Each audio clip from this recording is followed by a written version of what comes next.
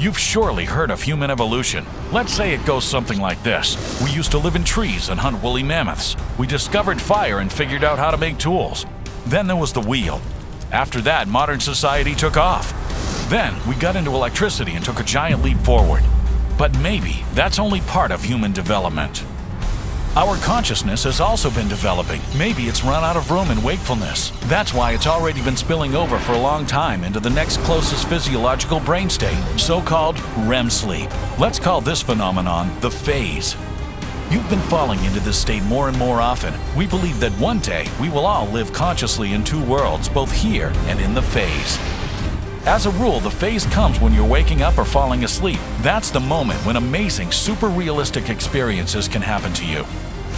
In the Bible, the vast majority of meetings with angels and God take place just before or after people are sleeping. When do UFOs abduct people? And where are those people when they get abducted? Isn't that the time when most of the paranormal happens? You think this doesn't apply to you. Haven't you ever realized that you were asleep while in a dream? Or realized that your body was paralyzed while you were waking up or falling asleep? Thought you woke up but were actually still dreaming? Maybe you had the sensation of leaving your body.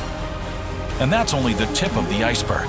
As it turns out, our lives and culture go hand in hand with the phase. It is the invisible hand behind all of human history. You think, what would I need this for? First, this is the most mind-blowing thing you'll ever experience. No drug brings such an intense sensation.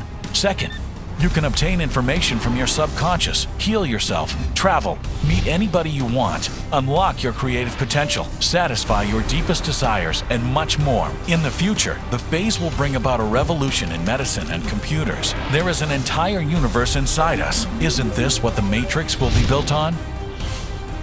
Are you ready to enter the phase today? Fall asleep tonight thinking about how you want to enter the phase each time you wake up. When you wake up, immediately try to see and feel yourself at your mirror. Don't overthink it. Try to appear at your mirror no matter what. If you find yourself there, it means you're already in the phase. If not, try to just get up, levitate, or roll out to the side. Don't imagine it, but actually do it with the real sensations of your body. Just don't move a muscle. If you are able to separate, then go to your mirror. Next, make all of your goals and dreams come true. If nothing happens, then fall back asleep and try again the next time you wake up. And do it like that each time. Awakenings in the morning and after daytime naps are the most effective ones. Why does it work? Because immediately after sleeping, the door is still open and you're already in the phase. Just try to immediately appear in front of your mirror.